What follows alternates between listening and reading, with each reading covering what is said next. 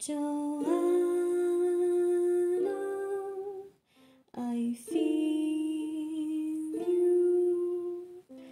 I was half convinced I'd waken, satisfied enough to dream you. Happily, I was mistaken, Johanna. I'll steal you, Johanna. Steal you.